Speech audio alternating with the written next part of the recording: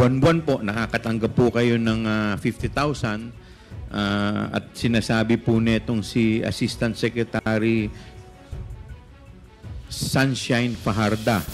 Sabi po ninyo sa kanya, itong envelope na to ay galing po from the Office of Vice President Sara Duterte o galing kay BP. And you will agree with me if I would say na you consider it difficult because it concerns matter about procurement and bidding, Yes. where there are a lot of issues surrounding, sometimes and it's just issues about many. bribery and corruption. You agree with me? And you did not open the envelope because you feel so uncomfortable. Do you confirm? yes. And then recently you made mention na it was only once that I had this case with the ombudsman. Do you confirm? Yes. And you also made mention that you wish to protect yourself. Do you confirm? Yes. You're, uh, you, And the reason, Chair. ma'am, is because you believe that that envelope is a bribe.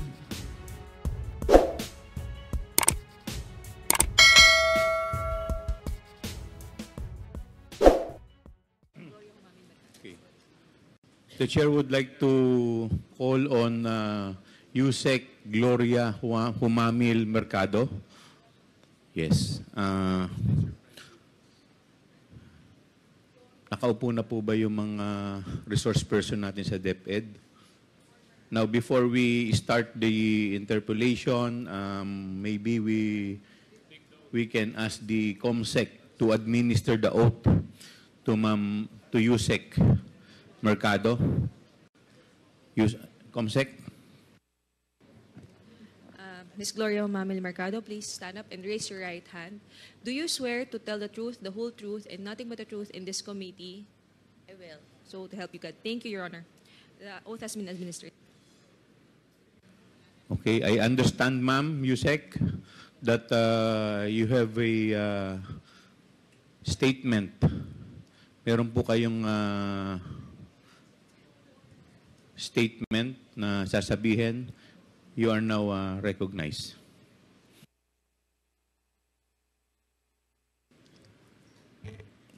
Thank you, Mr. Chair. Um, before I start, I just want to say that um, this is a very difficult thing to do, and I apologize to my children who didn't like me to join this um, this session, and also my colleagues who are my friends. But I have to read my statement. My name is Gloria Humamil Mercado, and I have a dedicated over I have dedicated over 40 years to public service in the government of the Philippines. In my last year with government, I served as the Undersecretary for Human Resource and Organizational Development of the Department of Education. I was appointed as DepEd Undersecretary by President Marcos as recommended by Vice President Sara Semerman Duterte in 2022, and I assumed office in August of 2022 in February uh, 20 2022. In February 2023, I was designated as the head of the procuring entity of DepEd. As one of the signatories of DepEd's checking, checking account, alongside Undersecretary for Finance, uh, Annalyn Sevilla, I signed checks related to the related to all funds and recall that each one, one some of the checks that I signed amounted to 37 million 500,000 pesos. Between February 2023 to September 2023, I received a total of nine envelopes labeled Hope. My concurrent position in DepEd during that time. These envelopes were handed to me mostly by Assistant Secretary Sunshine Fajarda, which she, can, she says came directly from Vice President Duterte.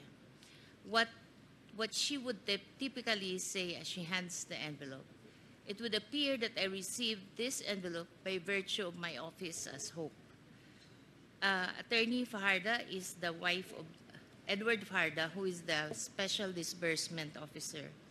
Although the exact date evades recollection, sometimes during the course of my tenure with DepEd, a member of my staff informed me that an inquiry was made by one of our officers in the field that there, Mr. Fajardo had made inquiries about the bank accounts of several individuals and if, and if divulging such information to him was permitted.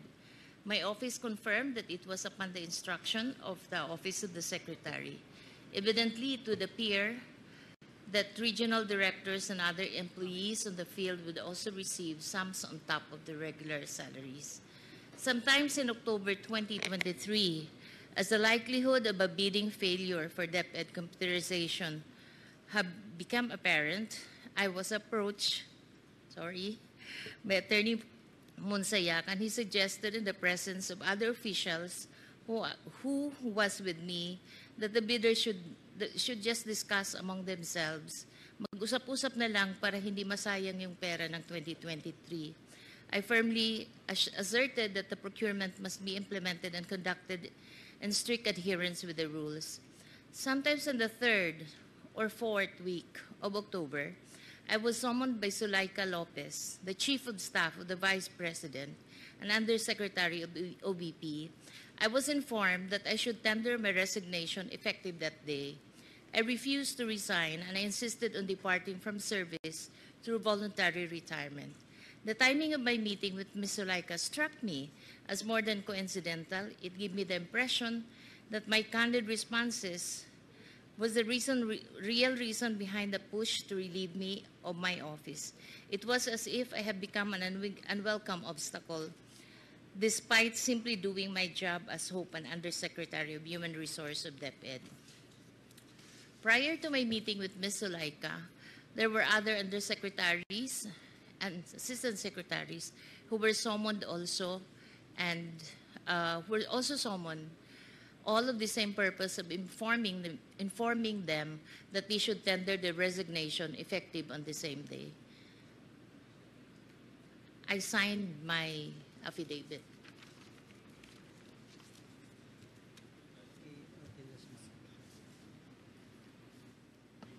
Can we request for the copy of the affidavit, Mr. Chair? Um, Comsec, could you please uh, get, or, yes, pwede po ba makahingi kami ng affidavit? Thank you po, ma'am, uh, sa inyong uh, statement.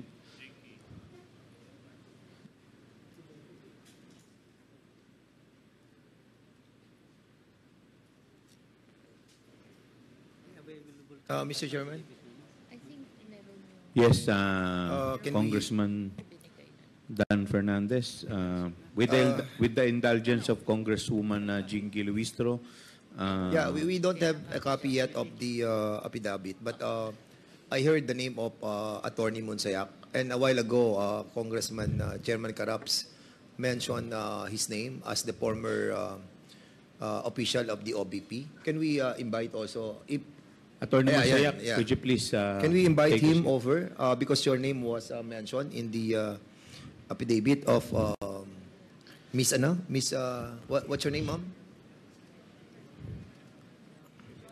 Mr. Chair, I'm Dr. Mercado. Dr. Mercado. Your name is Gloria. Yes. Gloria Mercado. Uh, okay, thank you so much, uh, Mr. Chair. Yes, uh, may, may I request the COMSEC to please reproduce the if- affidavit of uh, Yusek Mercado Mr. and Chair. furnish all the members of the committee with a copy. Yes, Congresswoman, Congressman uh, Rodriguez. Uh, Mr. Chair, in the same line of the administrative matter raised by Honorable Fernandez, I believe uh, another USEC is here also present with us, the Attorney Poa, and he was also mentioned in the affidavit. Perhaps we may ask him to join us here in the. Uh, Yes, Attorney Poa, Thank you, Mr. Chair. uh, you are invited. Please take a seat. COMSEC, po pwedeng paki-assist po si Attorney Baka ayaw tumabini. Ay, sir, siguro pwedeng hiwalay po kayo. Baka magkalabitan po kayo. Pwede, baka pwede po maghiwalay po kayo para at least eh, para maiwasan po natin yung lambingan dito. Paghiwalay na lang po natin. Yes. Ah, pwede pong, sir, po pwede pong a- atras, hindi, hindi, hindi. Doon din po si, si Monsayak. Paki-atras, hindi. At, atras na lang po yung mga dito. Siguro sa gitna na lang po si Attorney Monsayak. Pwede po bang makipagpalit sa gitna? Mr. Chair, while we're uh, attending to um, the arrangements and physical arrangements of the committee, I can I request for a five-minute suspension. Five-minute suspension is declared by the chair. Um, our first interpolator would be Congressman Dan Fernandez. Congressman. Um, Mr. Chairman, this is uh, brief lang po, no? As I read the affidavit, medyo mabibigat po itong mga accusations that uh, was mentioned by uh, Miss Gloria Jumamil Mercado. But while we are in break, I tried trying to call my uh, mga contacts about this person, si uh, Gloria Jumamil Mercado. Uh, if I may be allowed to uh, just uh, establish some um, uh, qualifications that uh, you have. Uh, just answer us uh, truthfully, uh, Miss uh, Gloria Jumamil Mercado. Um, ano po ba ang pinagmulan po ninyo? Uh, you are in the public service for 40 years. But uh, ano po yung mga foundation that you can relay to this committee as your uh, established person, uh, personality? Uh, Thank you, Chair, for that question. Yes, Yusek Um, uh, Mercado, you are recognized. I was, uh, I, as I mentioned, I w- I'm already 40 years in government. I, s- I was pulled out from my fourth year college. I was 19 years old when I worked with Senate, with then Minister Vicente Paterno as Masikap. I think one of the famous Masikap here is also uh, Congressman, um, uh, Congressman from Cagayan de Oro. Um, so I, I started working in Mindanao as a field worker, and I rose the rank up to an assistant secretary on uh, mostly on merit.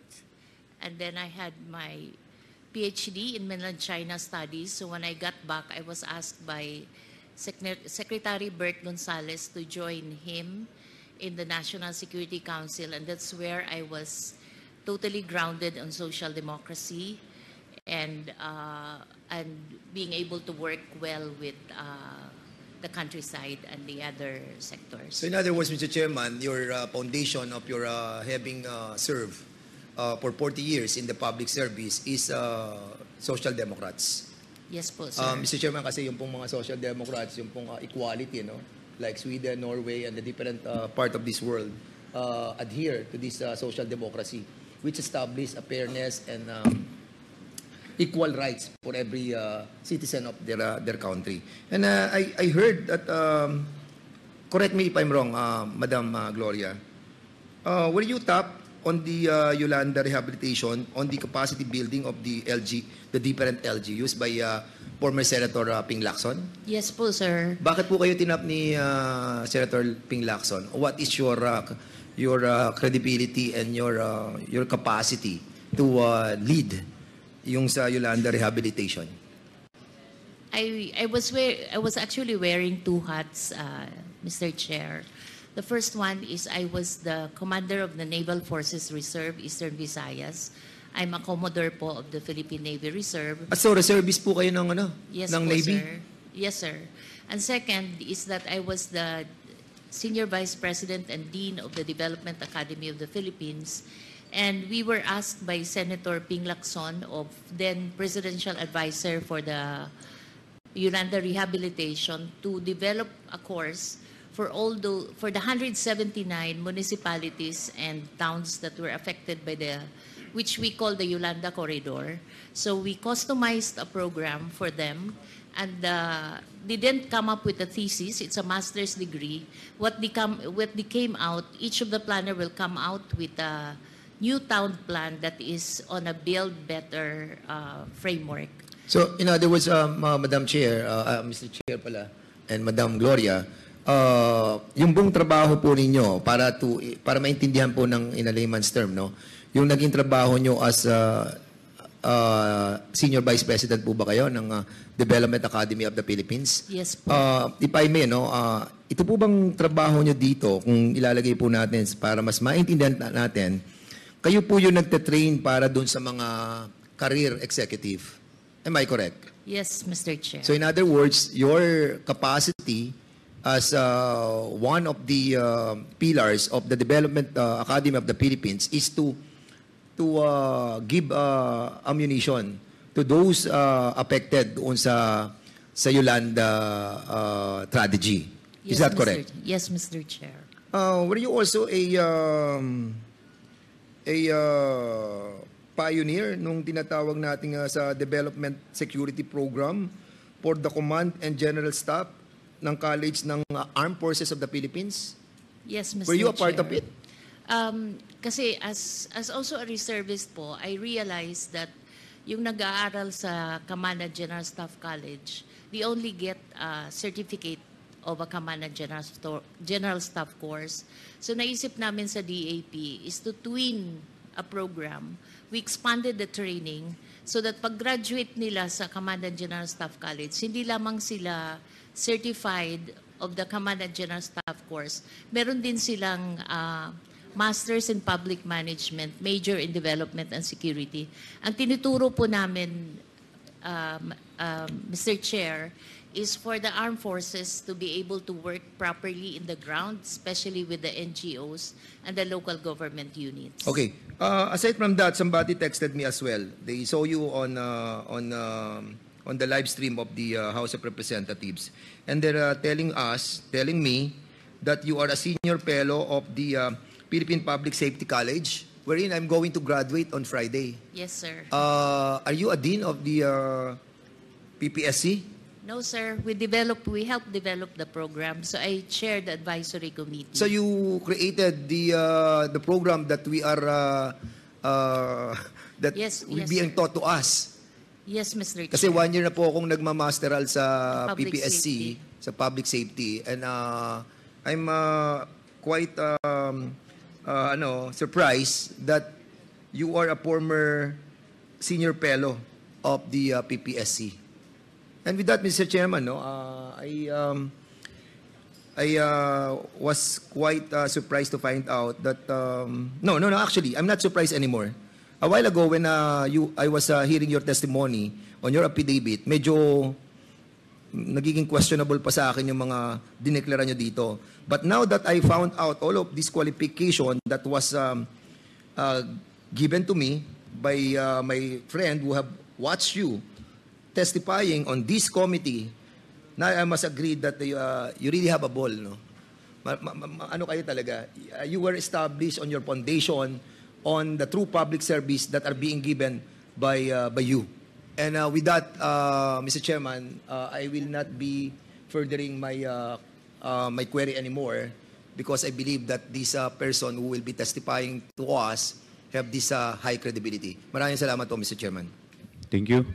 Uh, I will I will be the next next interpellator. Um, Ma'am, kanina po binanggit po ninyo dito na sa inyong affidavit. Ito po ba yung affidavit na binabanggit po ninyo, na pirmado po ninyo? Dated uh, 25th of September 2024? Yes, Mr. Chair. Okay. Ito po yung pirma ninyo na nakalagay po sa taas ng Gloria Humamil Mercado. Pirma po ba ninyo ito? Yes, Mr. Chair. Okay, so alam naman po ninyo at ito po ay under oath. So Yes, ibig Mr. sabihin po nito at kanina rin po kayo po ay nag-take ng oath. So lahat po ng ah, sasabihin ninyo po dito ay dapat ah, pawang katotohanan lamang. Tama po ba? Yes, Mr. Chair. Okay. Kanina po binanggit po ninyo dito na kayo po ay ah, ay by the way, ano po yung inyong educational background? Pwede po ba malaman namin? Uh, I have a bachelor's in ed- in economics and a master's in national security administration National Security and a Administration. PhD po in Chinese studies. And PhD. In Chinese studies. Chinese studies. Okay. Sabi po ninyo dito kanina, ay, sa inyong ah, number 2 affidavit, I was appointed as DepEd Undersecretary by President Ferdinand Romualdez as recommended by Vice President Zara Zimmerman Duterte in 2022. Bakit po si... Paano po ninyo nakilala si BP Sara? At bakit kayo po ang napili niya na irekomenda bilang undersecretary ng DepEd? Um, thank you, sir. Thank you, you Chair. Um, we actually went through a selection process. There was an advertisement by the CES board that uh, the Department of Education is um, going to recruit undersecretaries, assistant secretaries. So we saw that ad. I was currently working with the Office of the Presidential Advisor for streamlining government processes. And um, so we applied, we were interviewed, and then we received uh, communication that we passed the interview and the process, the selection process, and that we are to assume at a specific date. Okay. So, ibig sabihin po, prior to your appointment as undersecretary, hindi pa po nyo kilala si Vice President Sara Um, Duterte. Tama po ba? Kilala naman po, Ah, kilala na po Honor, ninyo. Kasi she studied at the Development Academy of the Philippines where I Okay. was the the dean and the senior vice president. She was our graduate student. So, din po kayo sa DAP. Yes po, sir. Ano Ah, pong Your Honor. ano pong ah, ano pong ah, course ang kung saan po kayo din? Sir, it's it's just Ah, one. isa- so yung buong DAP kayo po yung ano? yes, sir. Okay, Development it's Academy the tama Graduate po ba? School of Public and Development Management. Okay. So, dito po ninyo nakilala si VP Sara. Yes po. Yes, Your Honor. And Okay. I was actually her advisee, advisor of her thesis for her master's degree. Okay. So, so yung recommendation po niya, kayo po ay naging ah, Undersecretary for Human Resources and Organizational Development. Tama po ba? Yes, uh, yes, Chair. Okay. So, ilan po ba ang USEC ng DepEd? We were nine po. Siyam po. Ano-ano po yung mga USEC na to? Uh, USIC for finance, admin, Finance, uh, infrastructure, Admin. infrastructure. Infra? Huh? Uh, yeah. Um, we were admin, finance, uh, curriculum, human resource and organizational development. An- Pakilakasan po, pakilakas. Human resource and organizational development, operations, uh, planning, proc- procurement, and, And uh, the procurement. chief of staff. Kasi And may the- USEC for procurement po. Um, sir, the USEC for procurement was a product of an of uh, uh, an organizational review which we did when we came into DAP, uh, into DepEd. Okay. So, as uh, USEC for Human Resource Resources and Organizational Development, kayo rin po ay na-designate as head ng procure- procuring entity. Only in 2023, sir. February 2023. So, dalawa po yung function ninyo. USEC po kayo ng uh, Human Resources and at the same time, kayo rin po ang head ng procuring entity. Tama po ba? Yes, Mr. Chair. Okay. Bakit hindi po yung USEC for procurement ang head ng procuring entity or ng HOPE? Bakit po yung sa human resources po? Kayo po, yung opisina po ninyo, ang pagkakaalam ko sa human resources, kayo po yung sa mga recruitment ng tao, tama po ba? Y- y- uh, yes, Mr. Yun Chair. po yung trabaho ninyo, tama po ba? Ang trabaho ko po, Mr. Chair, is human resource. Then I, I have the National Educators Academy of the Philippines and the Teachers Excellence Council. Tama po. So- There's 1.1 So in short po, billion. in short po, ah yung trabaho nu- ninyo has nothing to do with procurement. Yes, Okay. yes, Mr. So ang Chair. tanong ko po, bakit po kayo ang naging head ng procuring entity? Bakit kayo po ang napili? I think it's a, it's a trust. It's a trust. So, hin- kasi pwede naman yung finance, pwede naman po yung admin, tama po ba? Okay. So, it's a trust. Okay. Thank you po. So kanina po, binanggit po ninyo dito sa inyong ah, paragraph 3 ng affidavit ninyo, sabi nyo, as one of the signatories of DepEd checking account, alongside USEC, Annalyn Sevilla, I signed check related to the department's confidential fund and recall that each one amounted to 37 million 500,000. So ito pong ah, 37 million 500,000, ilang beses po kayong nagpirma ng cheque in connection dito sa 37,000, ilang 37,000, 37 million 500,000 pong cheque ang napirmahan po ninyo? Habang hope po kayo. Um, Mr. Chair, I'm not very sure if it's two or three. Okay. It, it should be around that. Two or three. So more or less, mga nasa 54 million ang napirmahan po ninyo. Tama po? Yeah, but separate checks. Apo, dalawang check na worth 30, ah, 37 times 74. 7, apo.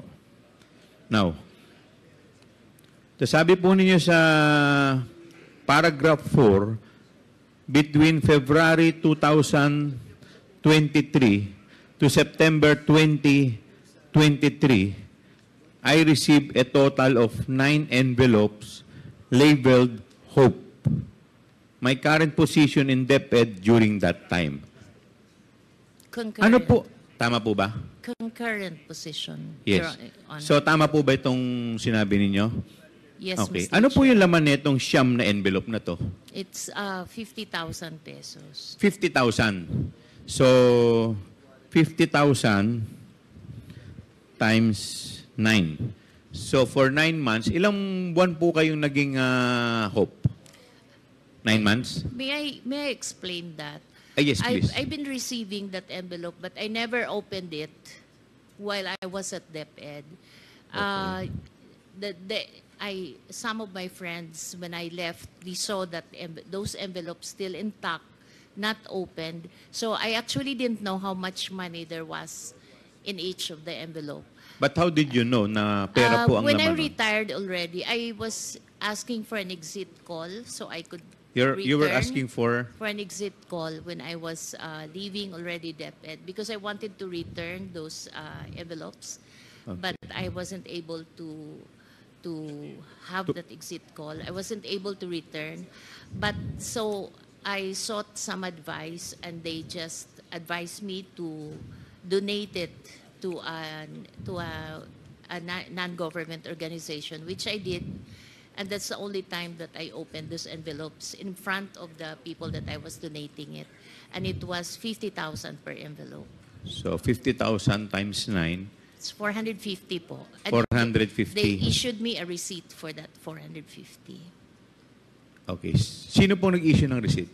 Yung the one who, it's it's an, The one it's na... an NGO that Ah, I okay. donated So, yung pinag-donate po ninyo. Yes. Do you have that receipt? Yes, sir. Uh, Thank yes, you. Your- Can we yes, have a Mr. copy Chair. of the receipt, yes, ma'am? Mr. Chair. Thank you po. Ah, so, buwan-buwan po, nakakatanggap po kayo ng ah, 50,000 ah, at sinasabi po netong si Assistant Secretary Sunshine Fajarda.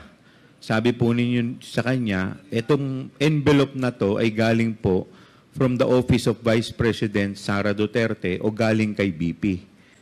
So, ano po ba ang trabaho nito ni Assistant Secretary Sunshine Fajarda? Uh, he, she used to be the head executive assistant. Heya. And then, yes, and then she became an assistant secretary.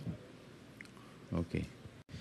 At ang asawa po niya, sabi po ninyo dito, si Edward Fajarda, siya naman po ang Special Disbursement Officer. Tama po ba? Yes. Okay. So, ibig sabihin po, itong mag-asawa po, si Sunshine Fajarda at si Edward Fajarda ay very close po talaga sa Vice President. Tama po ba? Masasabi po ba ninyo na very close sila? I, I couldn't say that po. Pero the fact na si Sunshine Fajarda ay Heya, so siya po yung laging kasama. Tama po ba?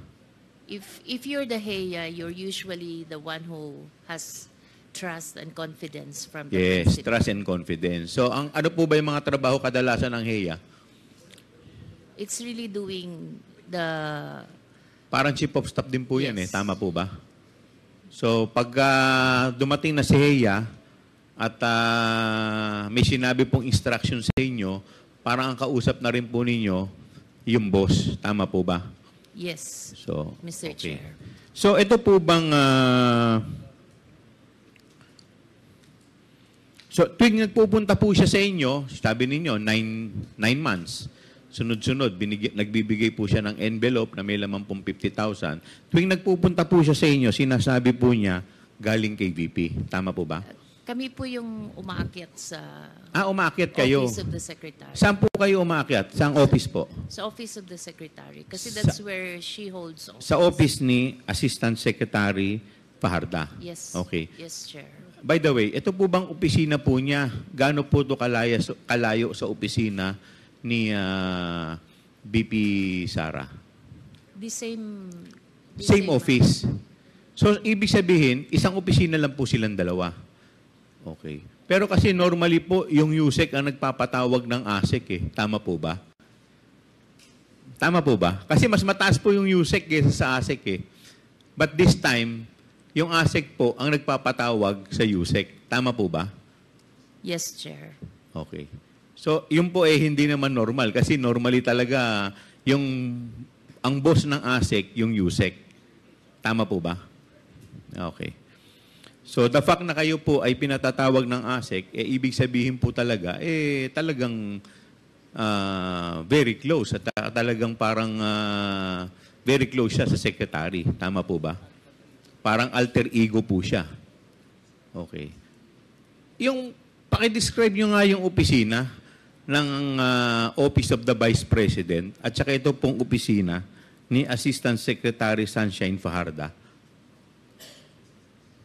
Ano po ba yan? Isang, kunyari, halimbawa, ito po, isang opisina to. Meron lang po ba siya doong table o meron din siyang sariling opisina doon? May sarili siyang... May sariling opisina. So para siyang chief of staff doon. Okay. Pero lahat yan under ng Office of the Secretary. Kasi normally po, ang mga may opisina lang po doon, USEC. Tama po ba? May- Ang mga USEC po, may kanya-kanyang opisina. Tama po ba? Sa baba po. Sa baba. Eh yung mga ASEC po, may mga opisina rin po ba? Yes, Your Saan yes, po? Your- Um, Sa baba rin. naka-scattered kasi madami. Naka-scattered. So ibig sabihin, on top dun sa opisina niya as ASEC, meron din siyang opisina sa loob ng opisina ng secretary as HEA. And no po, y- Chair. Ah, wala. Y- yun lang yung office niya. Ayun lang ang office niya. Oo. So ibig sabihin Kasama talaga, din niya yung USEC, ay yung Chief of Staff. Okay. Ang nag-office doon, Chief of Staff at saka yung ASEC. dun sa loob ng opisina ng secretary. And then the, Okay. Yes. So, yun lang po. Ah, salamat po. Yes, uh, with the indulgence of uh, Congresswoman Luistro, the Chair would like to recognize Congressman J. Konghun. In connection lang po ma'am, doon sa tanong ni Chair. Tanong ko lang po ma'am, nung naramdaman niyo po na inaabot at inaab, may nag-aabot po sa inyo ng sobre, buwan-buwan, ano po ang pakiramdam niyo? Bakit hindi niyo po binuksan? I I must admit that I was uncomfortable with the with those envelopes but parang ang hirap din kasi I'm not sure if others are receiving. Parang ang hirap din mag ano na I was I was I didn't know if others are receiving. I cannot say. So um, ang ginawa ko na lang is uh, I had this pouch that iniiwan ko lang sa office. Nilalagay ko lang doon yung mga binibigay sa akin na pera. Na, Sa pakiramdam po ninyo, para po saan yun? Ako, ang, ang feeling ko is, she has naman resources to to give to to I mean she has probably personal resources that she can share to to her people and uh, I'm not I'm not really ayoko mag-speculate but the only thing I could say is uh, I wasn't comfortable with it. Hindi po ba kayo nagtataka? Kayo po yung head ng HOPE, ng procure, procuring entity. Tapos may natatanggap po kayo na buwan ng 50,000? Um, as I mentioned, it is uncomfortable, and that's precisely the reason why I wasn't opening it at all. I was just putting it in one pouch. Thank you, Mr. Chair. The Chair Mr. would Chair, like to recognize Congresswoman Luistro. thank you. My question is addressed to Ma'am Mercado. Ma'am, do you confirm when you were still in DepEd, you were occupying concurrently USEC for HR and HOPE? Yes. Sabay po yun. When were you appointed as Undersecretary for Human Resources and Organizational Development? Um, we were all appointed together by the President uh, July, but I only assumed Can you please state that the year? July 2022 po. Okay. But I only assumed office in August 15, 2022 because I was still uh, winding up my work with another office. So you would agree with me if I say that you were appointed as USEC for HR July 22, but you assumed the position August 15, 2022? Yes, uh, Mr. With Chair. respect to your appointment as head of procuring entity, kailan po kayo na-appoint? That's February 2023. February 2023. Let's go back to your appointment as USEC for HR. From August 15, 2022, kayo po ba ay pinaaakyat din ni ASEC Sunshine to receive this envelope which you refused to open? Um, not on 2020. I don't recall 2022. Um, we we have simple we have gifts on December, but I don't recall a monthly thing before that. In other words, from August 15, 2022, that is the date of your appointment as USEC for HR, until before February 2023, which is your appointment as head of procuring entity, you are not receiving any envelope from ASEC Sunshine. No. And you will confirm that this envelope started only when you were appointed as head of procuring entity. Um, it's it's actually not very clear to me anymore, but I recall we also received some amounts in uh, in 2022, but it's very vague to me anymore. So and then I don't have the envelope.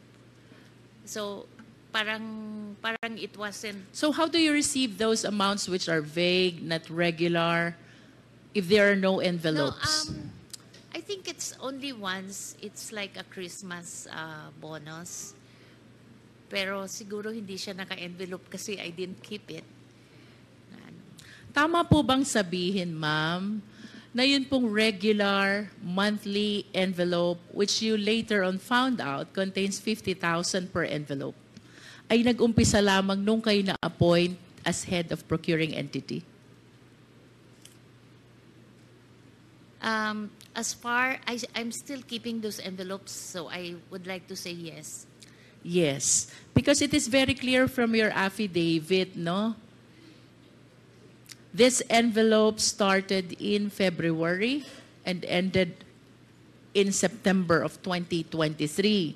And earlier you said kayo po'y na-appoint bilang Hope noong February 2023. And prior to that, since your appointment in August 15, 2022, wala kayong nare-recall regular envelope which you are you were receiving from ASEC Sunshine. Can you please enlighten us? What is with hope? Bakit doon lang po nag-umpisa itong envelope na ito upon your appointment as head of procuring entity? It's a, it's a very difficult task, especially for someone who has not tried to be one before. Parang it's an area that I really evaded all my entire government life. Um, but I needed there's just too much, too many already pending procurement at that time. So when I was asked if I could be designated as the hope, uh, I, I first referred them to other people who are seasoned in procurement, like Sina Yusik Rebsi, but Yusik Rebsi was already too preoccupied with operations. So I finally accepted the position, and it was difficult because I have to study the procurement law, and I had I was given um, I had a, a a lawyer and someone who has been who's only a retiree to review the documents with me when we signed the contracts. And I had commitment from when I accepted the post, I made it a family decision, you know. Like among the execom, I asked um, our legal, our legal before, uh, Yusek Brady, Brady and ASIC Amanda Nograles, that everything that I signed has to be thoroughly reviewed by legal. And so we, I had that commitment of support from everyone in the execom, and so I accepted the post. In brief, ma'am, can you please enlighten us? Why do you say na mahirap, difficult ang position ng Hope? Because you have to read through all the, you have to look through all the documents, and it's like Which documents, ma'am? everything that goes through the bidding process. Um, I, I am not part of the bidding process itself, but I, on, on the time that I wa- I was appointed, I was the one tasked to form the structure of the, who's chair for BAC 1, BAC 2. So I spoke to all the people which I know I will have comfort to chair specific committees, at specific ba- BAC. But the process of bidding, I'm not part of it because you have to maintain your your your you, you have to make sure that you're not enmeshed with the the process itself, but you're just reviewing to make sure that the the the vice president secretary is protected with everything that I signed because it's a delegated function. In other supposed- words- she's supposed to be the hope. In other words, ma'am, you're the person who check all the documents coming from BAC before the vice president signs or approves. No, I signed because You I'm- sign for the... I have to sign because I'm the one, the hope signs. It's delegated to me already. And you will agree with me if I would say na you consider it difficult because it concerns matter about procurement and bidding, Yes. where there are a lot of issues surrounding, sometimes and it's just, issues too about many. bribery and corruption. You agree with me? yes, Miss- And what do you think is the reason kung bakit yung envelope nag-start lang during your appointment as Hope? Um, I think Bakit it's- po walang envelope nung HR pa lang kayo? Tapos biglang nagka-envelope nung naging Hope kayo? I think it's uh, it's like an allowance maybe for an extra work because sometimes I have to stay until midnight to to look at the documents when uh, sometimes ma there's I have If one, that is just an allowance, ma'am, then the rest of the officials of the DepEd should be receiving also their respective envelopes. Do you think so? Don't you think so, ma'am? If that is just an allowance, then the rest of the officers of DepEd should have their own envelopes as well. Mr. Chair, that's precisely the reason why I did not open any of it because I that was very uncomfortable. on I understand. And that leads me to the next question, ma'am. Why were you so uncomfortable with the envelope when you believe that that is just an allowance? Because, Mom, I'm 40 years. Uh, you're, um, Mr. Chair, I'm 40 years in government. The only time I have an ombudsman case is when I when I advise my principal not to sign an importation, I, when I was the deputy cabinet secretary, and I advised my principal not to sign um, uh, uh, an importation because there was no rice crisis. That's my only ombudsman. I have to protect that name. Um, I self-made po kami. I come from Samar. I I was a scholar since I was grade 1 until I took my PhD. So I have all reasons to protect my name, Your Honor. Um, and it's, I'm in the home stretch of my career. And then I'm being thrown into that position, which I have no control because I'm only studying it. So that's that's my. Uh, Ma'am, I wish to remind you of the terminologies which you mentioned already. With all due respect po sa inyo, no? Because I want to elicit this information from you. Kanina po sabi nyo, the position, the job of hope is very difficult. Do you confirm? yes. Yes. And you did not open the envelope because you feel so uncomfortable. Do you confirm? Yes. And then recently you made mention na it was only once that I had this case with the ombudsman. Do you confirm? Yes, ma'am. And you also made mention that you wish to protect yourself. Do you confirm? Yes. You, you, And the reason, ma'am, is because you believe that that envelope is a bribe. Do you agree with me? Um, Because otherwise, you will not appreciate the job as difficult. You will not uncomfortable opening what you believe is allowance. You will not be thinking about the ombudsman case. You will not be thinking about protecting yourself. The reason why you are considering all these concerns is because you believe that the envelope is a bribe. Do you agree? Yes or no, ma'am? Um, it's kind of harsh word to use, uh, bribe, because if Or should I say, Oh, uh, It is a means to influence your decision being the hope. Um, it could be. You said yes to that? You said it could be. Could be. I wish to manifest, Mr. Chair, that uh, on the story, on the narration of the resource speaker about this envelope, she received and she refused to open until the same is donated from February 2023 to September 2023 is a means actually to influence the decision of our resource speaker being the one who approve all the decision of the BAC in behalf of the DepEd Secretary. Tama po ba, ma'am? Um, there was only one instance that I could recall na ano, but there was no one spoke to me about. Um, well, there were there was an instance where I have I I tried to let a bidding lapse, but um, but uh, I uh, I ended up signing it because um, because there was a I, there was a protest. I'm I'm not comfortable discussing it.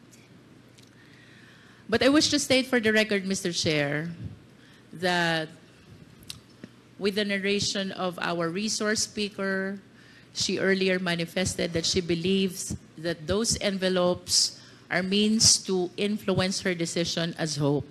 Ma'am, I wish to invite your attention to paragraph 6. You mentioned in this paragraph that a certain attorney Reynold Monsayak suggested in the presence of three DepEd officials Um, na pag-usapan na lang ang 2022 budget para hindi masayang. However, you firmly asserted the procurement that the procurement must be implemented and conducted in strict adherence with the rules. Do you confirm this? yes. Can you please enlighten us? Sino po yung ibang DepEd officials present Actu- during this incident? Actually, it was one director and two consultants. Can you Uh, please state the names? Um, uh, the, the director was Director Resti Osias, and the, the consultants was uh, Juna Soriano and um, and um, Ferdinand. Uh, Ferdinand, forgot the family name. Where where did this meeting happen, ma'am? Kanino was- pong opisina nangyari to? It was not in DepEd. I was having lunch. There was a training ongoing in one hotel. I don't recall anymore whether it's Linden or Discovery Suites. Uh, but it's just in Ortigas area. And I was having lunch with these people, and we were discussing a project. Um, and then uh, that's when uh, I was approached. Does that project have something to do with the 2022 continuing no, no, no, fund? it was it was different. It was different. Yeah. But that lunch was shared with these three other DepEd officials along with Attorney Monsayak. No, Attorney Monsayak was not part of the lunch. Uh, I think he was, he probably came down, came out from from the training, and then um, that's when he joined us. He joined you and then to whom did he direct what he said na pag-usapan na lang natin yung 2022 para hindi masayang? Kanino po ba niya sinasabi ito? Sa inyo o doon sa tatlong DepEd officials Um, pa?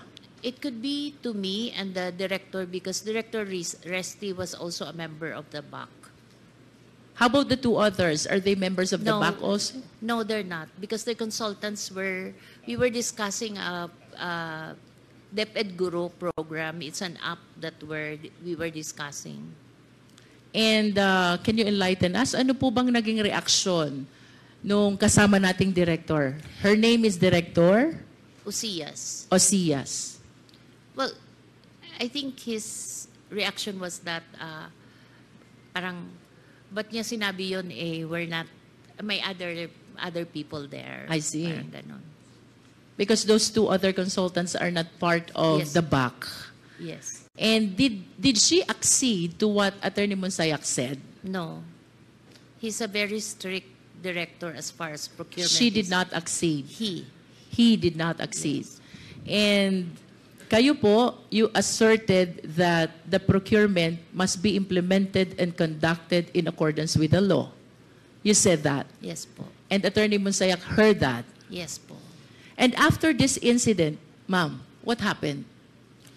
Um, I left na. I left already. You left. But you recall that after some time, kayo po ay kinausap na ni Miss Sulaika, ni Attorney Lopez, the Chief of Staff of Vice President Sara. Please enlighten us. What happened during that conversation? Um, I, uh, parang a, a day, mga afternoon, I got a text. Uh, when I got the text, um, it was a familiar text because these were the same texts that is sent to those who are asked to leave as well. So when I saw it, I prepared na, I prepared what I should tell them and tell her. And I prepared that I'm not resigning, but I'm retiring because I'm I'm I'm already in a at age level where I could retire properly. And um, so I was when I went there, I was I knew what the issue would be because the the kind of text that I received was the same text that was received by by Chris Arnoco, ASEC Chris Arnoco, and uh, the Who is others. Chris Arnolfo, ma'am? He's an ASEC also that was asked to resign. He was asked to resign for what reason, if you're aware? Um, no, I'm not aware. You are not Uh, aware. I I just get to know being an HR, and then I was there nanay-nanayan in DepEd.